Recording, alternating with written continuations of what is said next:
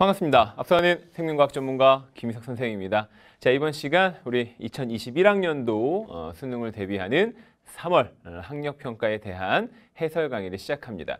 어, 이제 앞에서 뭐 총평이라고 하는 것을 잠깐 볼 건데 어, 이 문제는 우리 이제 코로나 여파로 우리 학생들이 약간 오픈북의 형태로 치러졌지, 그지? 어, 집에서 뭐 다운 받아서 어, 학교 선생님들이 이제 모니터로 출석 체크하고 어, 봤어요 라는 친구들도 있고 그냥 뭐 시험지 받아가지고 그냥 풀어봤어요 이런 친구들이 있는데 어, 이 문제를 가지고 뭐 잘 봤네 못 봤네를 떠나서 어, 항상 이제 피드백을 좀 해야 되는 거니까 문제의 난이도는 어, 높지 않았습니다. 좀 낮은 편이고 어, 쉽다라 그래서 대충 보고 그런 건 아니야. 어, 이 문제 하나하나 되게 에, 귀한 거고 또 이제 어, 요거 출제해 주신 선생님들께서 어, 굉장히 고민을 많이 해서 여러분한테 필요한 거를 제공한 거니까 반드시 예, 분석을 해보셔야 합니다.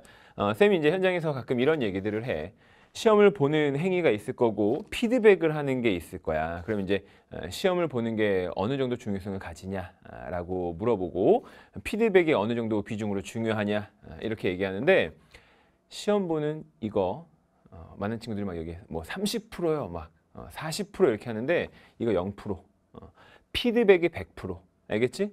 시험을 보고 나서 어, 1, 2주 피드백 없이 그냥 훅 지나가잖아요. 그러면 2주 뒤에 다시 똑같은 시험지를 주잖아. 그러면 이 시험에 대해서 생각하, 생각해내는 친구들 거의 없다라고 봅니다. 시험을 보는 건 물론 중요한데 뭐 시작이 반이다 뭐 그래서 50% 이렇게 줄 수도 있는 건데 어쨌든 시험을 봤어. 이걸 가지고 어떻게 피드백을 해보냐. 문제 속에 있는 내용들을 우리가 어떻게 보냐. 이게 사실은 훨씬 중요한 거야. 알겠지? 뭐 선생님 문제 너무 쉬운데요. 이런 거 다 필요 없어. 어. 해서 이제 꼼꼼하게 어, 겸손하게 어, 하나하나 체크하는 것을 어, 추천을 합니다. 어, 이 문제에서 이제 이 시험에서 어, 전체 단원별로 어떻게 출제가 됐는지 이런 출제 비율도 한번 생각해 보셔야 되고요.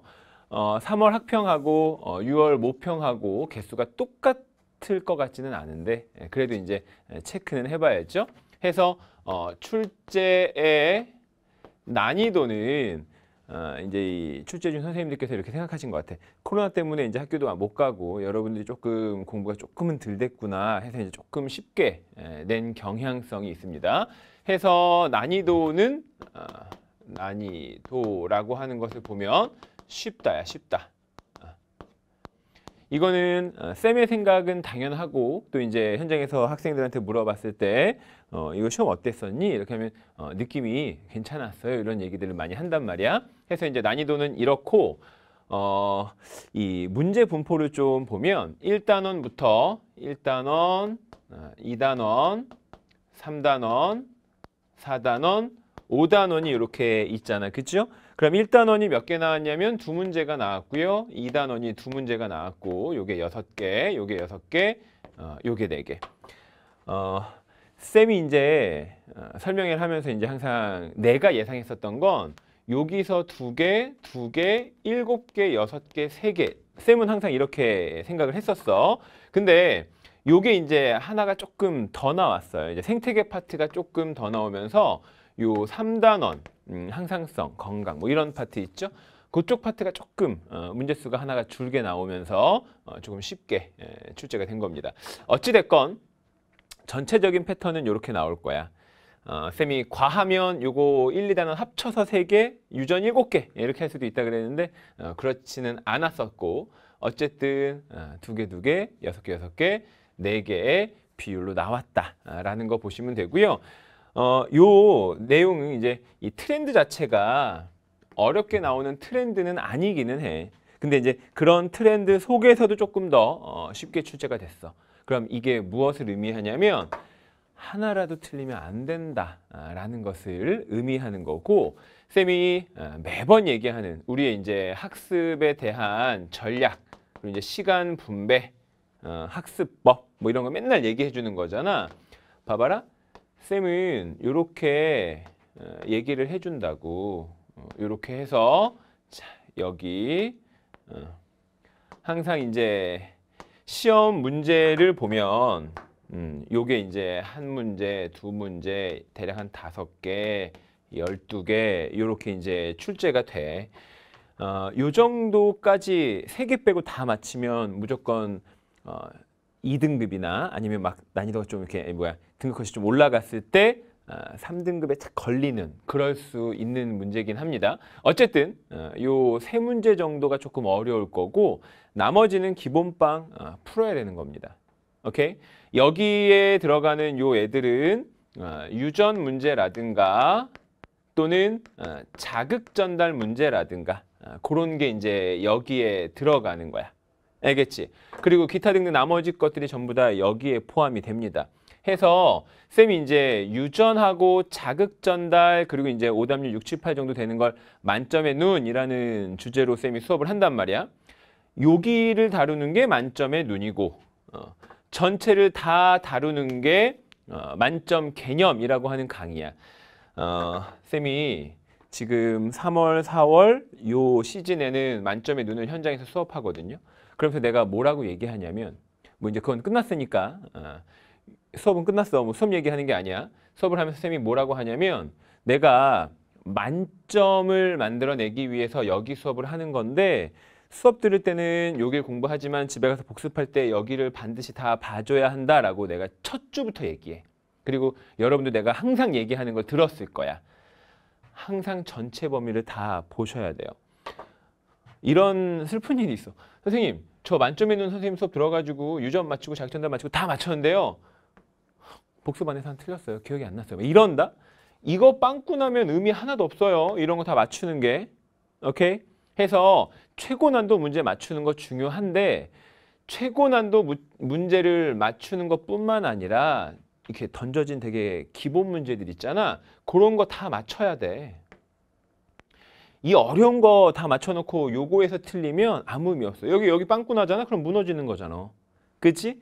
해서 어, 반드시 반드시 어, 공부를 하실 때 기본적인 내용들을 어, 반복하시는 걸 추천하고 학생들이 몇 번 반복하면 돼요. 그런데 야 몇 번이 어디 있어? 할 수 있는 한 최대한 다 해야지. 만약에 100번 할 수 있으면 100번 하면 좋죠. 1000번 할 수 있으면 1000번 하면 되는 거야. 근데 이제 현실적으로 어, 수능 때까지 갈 때 대략 한 10번 정도를 막 어, 이렇게 읽으면 그런 학생들이 거의 어, 최대치더라. 10번에서 15번 정도. 해서 이제 항상 수업 강의가 여기가 되든 어, 여러분이 공부하는 뭐 인터넷 강의가 어, 여기가 여기를 집중적으로 하든 그거에 상관없이 개인적으로 이거 다 공부하셔야 돼. 오케이? 해서 만약에 지금 35점 이하가 나왔어. 근데 이제 유전도 틀리고 막 다 다 중구난방 틀린 파티야. 되게 많이 뭐 한 군데만 집중적으로 틀리면 거기를 하면 되는 거지만 많이 틀렸잖아. 그러면 공부를 어, 이렇게 하셔야 돼요. 비율이 7대 3이에요. 7대 3. 어, 여기 예, 기본 개념에다가 계속 어, 에너지를 쏟고 시간을 투자해서 공부를 하시고 그리고 어, 한 시간을 공부한다면 어, 대략적으로 한 40분 정도는 이제 여기 해. 그 다음에 이제 나머지 여기. 그럼 이제 6대 4가 되는 건데 어쨌든 뭐 뭐 전체 60분은 뭐 70%막 42분 이렇게 하려는 게 아니니까 어쨌든 여기다가 한 40분 여기다가 한 20분 이렇게 그러면 선생님 어려운 문제 하나 푸는데 20분 걸리는데요? 그럼 하나만 해. 한 주제 잡아서 하나씩만 하시면 돼요. 매일 꾸준히. 알겠죠? 그러면 100일 하면 100문제야. 유전 100개. 어. 한 번에 100개는 쉽지 않지만 그렇게 하나씩 하나씩 하는 건 어렵지 않잖아. 20분 투자해서. 그렇게 해나가시면 돼. 자극 전달만 하나 푸는데 30분 걸렸는데요? 그러면 30분 동안 한 문제만 풀어. 그리고 나머지 한 40분 동안 이거 기본 계속 훑어봐야 돼. 까먹지 않으려면. 알겠지? 그리고 어느 정도 공부가 됐다. 나 이거 이제 완벽하게 맞출 수 있다. 아, 이런 친구들은 비율을 조금 조금 어, 이쪽으로 높여가시면 되겠습니다. 해서 어, 요거를 여러 번 해본 친구들은 이제 이쪽으로 넘어와서 가는 거야. 얘는 수능 때까지 0이 안 돼요. 어, 계속해서 공부를 해야 되는 거기 때문에 쌤은 요 정도 비율, 어, 쌤이 지금 써준 게 요게 어, 공부 비율. 여러분들이 어, 시간 투자하는 비율, 여러분들이 어, 에너지 쏟는 비율, 어, 그 정도를 어, 얘기한 거야. 그러니까 요 비율 자체를. 됐죠? 해서 이제 이렇게 에, 전략을 짜시면 되겠고요. 어, 이 문제 3월 평가원 문제에서 뭐 유전 문제가 그렇게 많이 나오지도 않았고 비분리가 막 DNA 상대량 표가 나오는 그런 것도 아니고 그죠? 그래서 이제 편안하게 그냥 어, 하나씩 해설을 하겠습니다. 자, 1번 문제 보자. 어, 표는 생물의 특성 가와나의 예를 나타낸 것이고 가와 어, 나는 적응과 물질 대사를 순서 없이 나타낸 겁니다. 강낭콩이 발화할 때 영양소가 분해되면서 뭐 이렇게 나왔어. 그죠? 그러면 이제 열이 발생하고 이렇게 나왔으니까 얘는 물질 대사를 말하는 거고 하마는 콧구멍이 코 윗부분에 있어서 몸이 물에 잠긴 상태에서 숨을 쉴수 있게 적응이 됐어요. 이런 얘기니까 어, 가는 물질 대사 야, 요거 이렇게 그냥 말로 가도 되지 않겠니? 어, 이 정도는 그렇게 가도 될 것 같아요. 자, 이제 가볼게. 그럼 가는 물질 대사냐? 그렇다. 아, 이렇게 나온 거고요. 그 다음에 A와 B는 모두 세포로 돼 있냐? 강낭콩 세포로 돼 있고요. 하마 세포로 돼 있지. 당연하죠. 요게 이제 우리 교과에서는 어, 생물체, 개체라고 하면 세포, 조직, 기관, 어, 뭐 이제 조직계와 기관계는 동식물에 있는 것이고 어, 기본적으로 얘기하면 조직과 기관, 그 다음 개체 요 단계를 얘기한 거라서 강낭콩과 하마 요런 이제 생명체들은 어떻게 된 거야? 어, 세포가 기본 단위다. 그걸 얘기하고 싶었던 어, 니은 복이고요. 그 다음 사막에 서식하는 선인장이 가시 형태 잎을 띠는 것은 어, 우리 적응과 진화 파트에서 배웠었죠. 해서 적응의 예에 해당이 된다. 그렇다. 아, 이렇게 찾는 문제였습니다. 끝.